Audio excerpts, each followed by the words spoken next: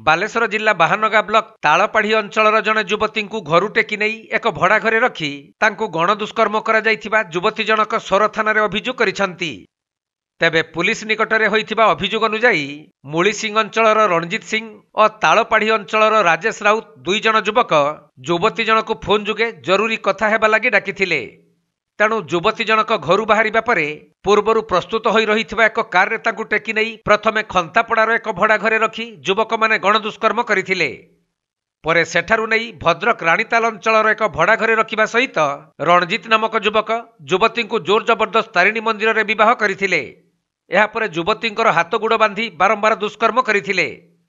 ହେଲେ କୌଶଳକ୍ରମେ ଯୁବତୀ ଜଣକ ସେଠାରୁ ଖସି ଆସି ନିଜ ପରିବାର ଲୋକଙ୍କୁ ଏକଥା ଜଣାଇବା ପରେ ସର ଥାନାରେ ଏକ ଲିଖିତ ଅଭିଯୋଗ ହୋଇଛି।